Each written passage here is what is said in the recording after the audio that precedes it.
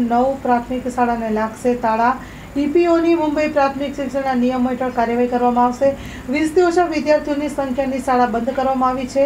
શિક્ષણ વિભાગના વીસ દસ છવ્વીસ દસ બે હજાર વીસના ઠરાવ અને તાલુકા પ્રાથમિક શિક્ષણાધિકારીશ્રીઓ પાસેથી પ્રાપ્ત થયેલ માહિતી અનુસાર ગત રોજ અરવલ્લી જિલ્લાની સાત શાળાઓ બંધ કરવાનો નિર્ણય શિક્ષણ સમિતિમાં લેવાયો હતો. એક એ ગઈકાલે એનો પત્ર કર્યો છે.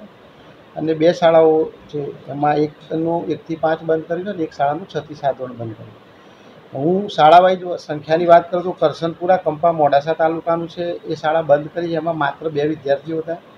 સાકરિયા, કંપાની અંદર ત્રણ વિદ્યાર્થી હતા. મુનશીવાડાની અંદર પ્રાથમિક વિભાગમાં એકથી પાંચમાં માત્ર એક બાળક હતું.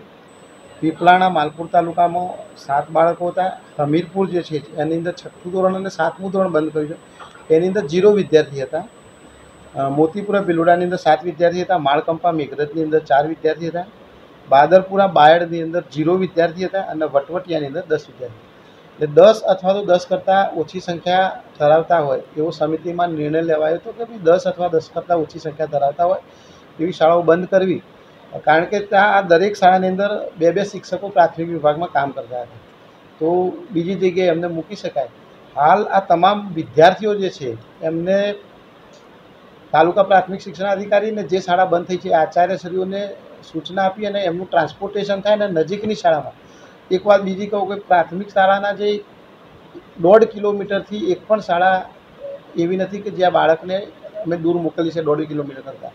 એટલે દોઢ કિલોમીટરની અંદર જ બાળકનું ટ્રાન્સપોર્ટેશન થઈ જશે. અને જે શિક્ષકો છે, એમને હાલ પૂરતા અમે કામગીરી આપી છે અને કામગીરી પણ મોટાભાગે એવી શાળામાં આપી છે કે જે શાળાની અંદર એક શિક્ષકવાળી શાળા હતી, એ શાળાની અંદર કામગીરી આપી.